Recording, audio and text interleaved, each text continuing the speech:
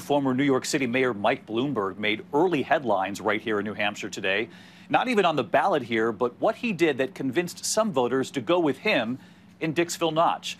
Of course, the first town to report results, a tiny sliver of a sample, but part of the tradition here, and Bloomberg coming in first.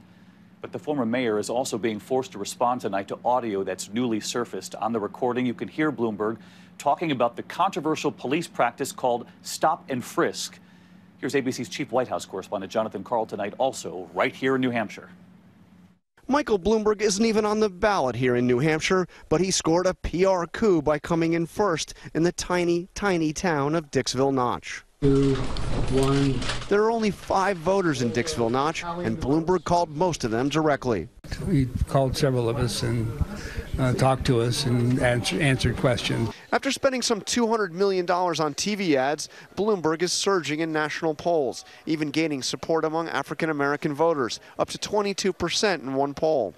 But he is facing new criticism after a recording from 2015 surfaced of the former mayor defending his controversial stop and frisk policy.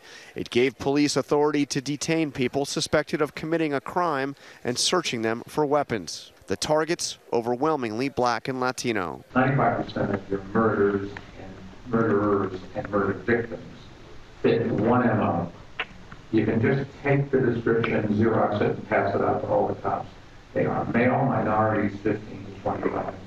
Bloomberg then bluntly described his policy. We put all the cops in minority neighborhoods. Yes, that's true. Why we do it? Because that's where all the crime is. And the way you get the guns out of the kids' hands is uh, to throw them against the wall and, and frisk them.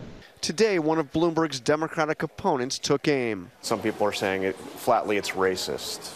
Have you, what you what's your take? Well, yeah, certainly uh, any law enforcement strategy that seems to regard people as profile rather than as human beings, especially uh, seeing how this has disproportionately impacted uh, black and brown Americans, is uh, something that, that just has no place uh, in an equitable future. Even President Trump tweeted out the audio with the caption, Wow, Bloomberg is a total racist, before deleting the tweet. Although Trump himself has repeatedly promoted stop and frisk. It worked very well in New York. It brought the crime rate way down. Bloomberg himself apologized for his policy months ago, just after launching his presidential campaign. I now see that we could and should have acted sooner and acted faster to cut the stops. I wish we had. I'm sorry that we didn't. So let's get to Jon Karl, also with us live tonight, right here in New Hampshire. And we saw you were with uh, Pete Buttigieg early today. Now you're at headquarters right there in Nashua. You caught up with the mayor. He's already seizing on that audio. What's the reaction tonight from Team Bloomberg?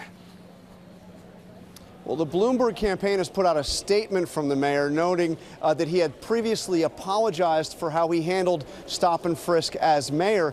But David, he showed offered no apology for his words, and in fact, he spent most of the statement he released on this today attacking Donald Trump, saying to the president, "quote I will do everything I can to defeat you." David. Jon Karl with us tonight as well. Our thanks to you, Jon, and our entire political team right here in New Hampshire. It is going to be a very important night for the Democrats as this race moves forward, and we will bring you the results as they come in. Live coverage right here on ABC and on ABC News Live.